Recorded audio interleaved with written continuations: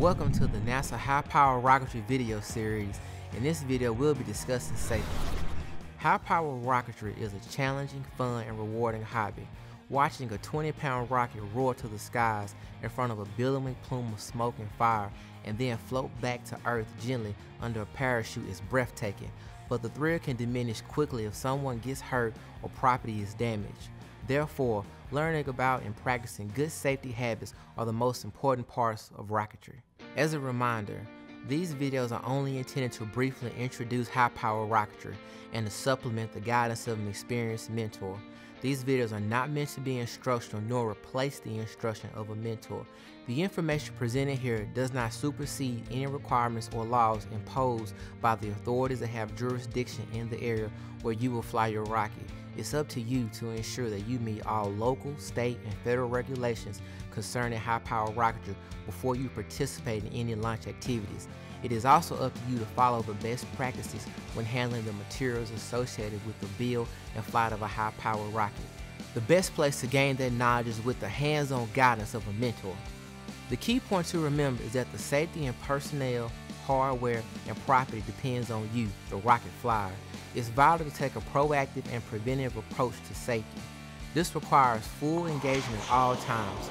A split second of complacency or inattention can lead to a life-changing accident. For this reason, it is especially important to closely supervise children and students as they work on a rocketry project. One of the first points of safety is the adherence to the safety codes for rocketry's governing bodies, the National Association of Rocketry, NAR, and the Tripoli Rocketry Association. These codes cover high-level design traits and the proper launch process. The rocket manufacturing process is as hazardous as the flight itself, and because it often happens in an uncontrolled environment, it's important to understand the hazards and their mitigation. You are working with power tools, hand tools, chemicals, and processes that are dangerous and may be new to you. As you are building your rocket, there are numerous ways to mitigate the risk. Seek guidance from an experienced mentor. People that have been involved in the hobby for many years hold knowledge and experience that can help prevent accidents. Using this guidance from the beginning will make you safer throughout the build process. Research the manufacturer's instructions, warnings, and procedures. Often manufacturers will list specific instructions for working with their materials. These instructions and warnings are written with the safety of the user in mind, so adhere to these instructions to minimize accidents. Write and use checklists. These checklists should be based on the experience of your mentor along with instructions from the manufacturer. In the excitement of a hobby, it's easy to overlook a single, important step and this can lead to a life-changing accident. Strictly adhering to a well-written checklist will help prevent this. Keep and study a material safety data sheet for each material and chemical that you will use. A material safety data sheet, often called an MSDS, is a document containing information for the safe use and handling of a certain product. It contains information including chemical and common name, physical and chemical characteristics, physical and health hazards, procedures for safe handling and use, appropriate personal protective equipment, emergency and first aid procedures, manufacturer information. If the MSDS is followed, the likelihood of an accident is greatly reduced. Never work alone. Working with a team helps ensure that no steps are forgotten because multiple people can check procedures and look for mistakes. Also, if an accident happens, there will be someone to administer first aid and call for help. If you are working alone, there are no separate sets of eyes to check your work or take care of you if you become incapacitated after an accident. During flight preparation, it's important to foster of maturity and respect for the risk involved. Horseplay is never tolerated at a launch. Because rocketry is an outdoor activity, it's important to pay attention to the weather elements. For hot weather launches, stay hydrated. Use sunscreen and sunglasses and stay in the shade when possible. When walking out to recover your rocket, take a bottle of water and a cell phone with you in case of an emergency. If your rocket drifts off the launch field, make sure that your clothes and shoes will protect you from insects and rugged ground cover. For cold weather launches, be sure to dress warmly or in layers and wear appropriate hats and gloves. When preparing the rocket, it's important to wear protective equipment and clothing.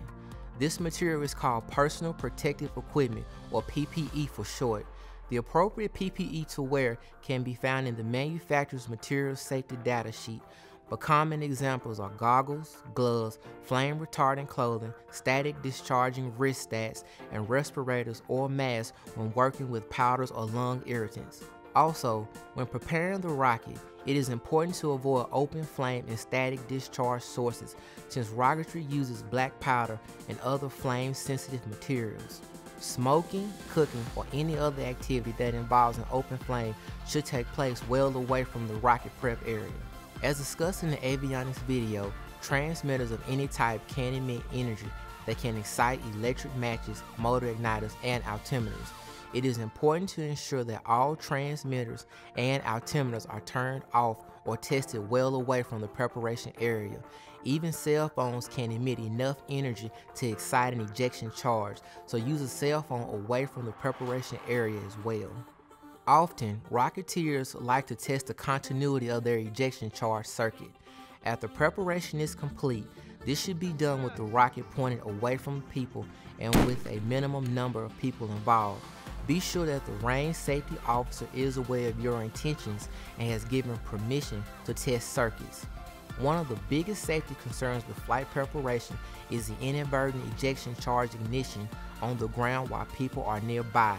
This is mitigated by mental involvement, following common safety procedures, and using common sense. During flight operations, you will check in with the range safety officer with your rocket prepped and ready to fly. To minimize any accidental ejections or ignitions, all electrical circuits should be off and motor igniters should not be inserted.